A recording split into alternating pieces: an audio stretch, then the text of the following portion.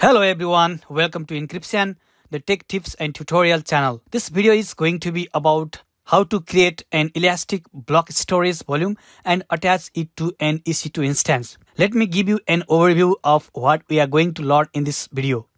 We will learn to describe the EBS volume in AWS, create an EBS volume, attach the EBS volume to an EC2 instance, create a partition of the volume, format the partition to a file system, mount the partition to a directory, and make the mount persistent.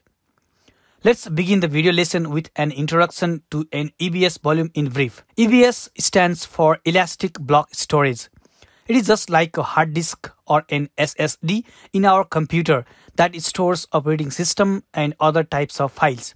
The main purpose of an Amazon EBS is that it offers storage volumes at the block level for use uh, with EC2 instances. We can attach as many volumes as we need and detach them when not in use. Moreover, uh, we can configure snapshots of the storage devices which can be used for backup and restore, increase the size, change the type of the volume and move it from one availability zone to another and also we can apply encryption on the storage volumes. With this brief introduction of an EBS volume, let's move on to the next topic that is creating an EBS volume. Log in to the AWS Management Console, click on the services and click on the EC2. Here we can see the two instances uh, that I created while creating the previous video which was about creating a new default VPC from scratch. You can find the link of the previous video in the description below or you can click on the link displayed on the top right corner of the video if you want to watch it. I'm going to create and attach an additional EBS to this EC2 instance which has the name public-ec2-CentOS. Let's check on which availability zone the EC2 instance is created. Because the EBS volume uh, also should be created on the same availability zone so that it can be attached to the EC2 instance of that availability zone. We can see that the EC2 instance is created on the US-East-1B availability zone. Now on the left side bar of the AWS UI, scroll down a bit and under the elastic block storage, click on the volumes. Here we can see the two volumes of the two EC2 instances. If we check the first one and scroll towards the right, we can see it's created on the US-East-1B availability zone. Next, click on the Create Volume button. The volume type is general purpose SSD or GP2. It's okay because it's under free tier scheme. Let's reduce the size of the volume to 10 GB because up to 30 GB of size of the GP2 SSD can be used for free under the free tier. Then let's change the availability to US-East-1B. Scrolling down a bit, we can see the volume can be encrypted for extra security but I'm not going to check the encrypt this volume box for now uh, but I'm going to add the tag so that the volume can be identified with a name.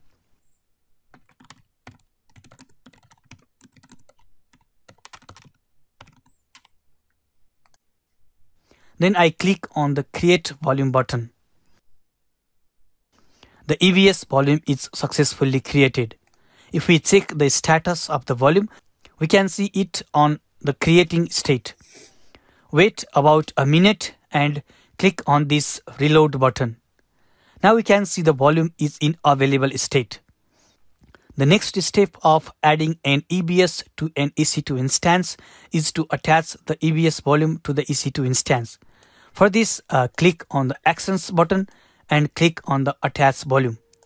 Here, click on the instance box to choose the EC2 instance on which you are going to attach the volume. In my case, it's public-ec2-CentOS, which is now on a running state. The device name is uh, shown as slash dev slash SDF, but the name can be changed to slash uh, dev slash xvdf through uh, slash dev slash xvdp by the AWS system. It's okay for us. So let's click on the attach volume button. As you can see, the volume is successfully attached to the EC2 instance. To verify, you can scroll towards the right and here under the attached instance section, uh, we can see which volume is attached to the which to which EC2 instance. The next step of adding an EBS to the EC2 instance is to create a partition. Let's first access the EC2 instance via the SSH using a Linux shell. For this, uh, let's extract the EC2 login information first. Copy the given SSH login information from the example. Uh, open a Linux shell. In my case, I'm going to launch the Git bash, which I installed by downloading from the internet free of cost. Git bash is like a virtual terminal that provides a Linux shell. We can run any uh, valid Linux command here on the Git bash. Next, you need to switch the current working directory to the directory on which you have stored your key pair file while creating the EC2 instance. About creating an EC2 instance and accessing it via Linux shell, I have created a video lesson. The link of the video about creating an EC2 instance can be found on the description below or on the top right corner of the video. I am switching the directory to a G drive and then to the AWS slash AWS dash crates. Then executing the ls command, we can see the key pair file listed on the directory. Now paste the SSH login command here and hit enter. After some time, you will be logged onto the EC2 instance. Clearing the screen, let's switch the current user to the root user so that we will not have any restrictions to issue any command. Then if you type the lsblk command, you can see all the block devices attached on the system. Here we have the disk named XVDA of 8GB of size. The device is created while creating the EC2 instance and a partition of the full size is created in the name XVDA1 which is mounted on the slash or the root directory. By this, we know that the operating system files are stored on this partition. We also have an additional disk named XVDF, which is created and attached to the EC2 instance just before. To check the file system, mount point directory, and UUID of all the disks, you can use hyphen fs options uh, with the lsblk command. Here we don't see any of the information of the disk XVDA. This is a fresh disk now. To store something on this disk, we need to create a partition, format it with the file system and mount it to a directory. So first let's create a mount point directory. Then let's create a partition. We can use the fdisk utility to create a new partition. If we do fdisk space hyphen l, we can see more information about all the disks. To begin with creating a partition, type fdisk and the device name, which in my case is slash dev slash xvdf. Type m and hit enter for help. Type n to create a new partition and hit enter. Type p for new partition and hit enter.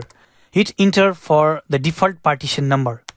Again hit enter for the default first sector and again hit enter to allow creating a partition of the full size of the disk. Now type W and hit enter to write the changes. Now run the partprobe command to inform the kernel about the partition changes. Next, uh, let's format the partition with the XFS file system.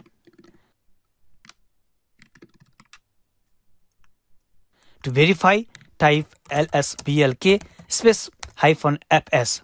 We can see the partition is formatted to the xfs file system. Next, let's mount the slash dev slash xvdf1 partition to the directory slash temp slash images. To verify again lsblk space hyphen fs. Now anything we create or store on the slash tmp slash images directory is stored on the slash dev slash xvdf1. Next, let's change the current directory to slash temp slash images and then uh, let's create some txt files on it.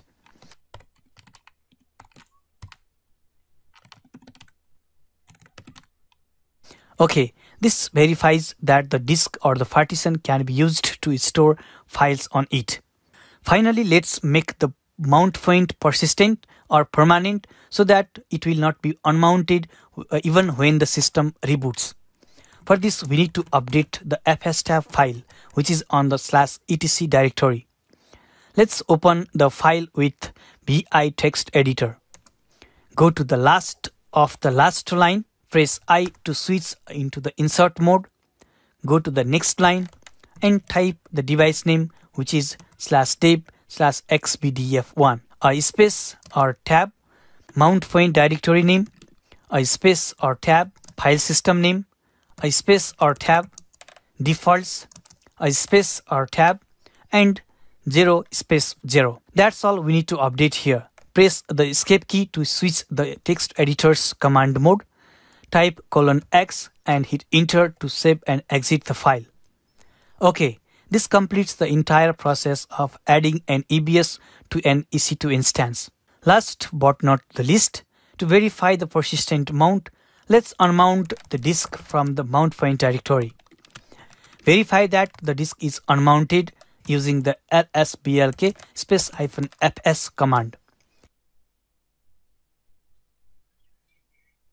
And type mount space hyphen a and hit enter. Now the disk should be mounted to the directory as specified on the slash etc slash fstab file. To verify, again run the lsblk command with hyphen fs options. We can see the disk or the partition is mounted on the slash tmp slash images directory. If you want to destroy the disk or manipulate the disk uh, furthermore, uh, you should unmount the disk remove the updates of the disk from the slash etc slash fstab file and detach the disk from the EC2 instance. Okay guys, that's all for this video. I hope the video was useful to you. Please subscribe my YouTube channel and hit the bell icon. Thanks for watching. See you on other videos. Till then, have a nice time. Goodbye.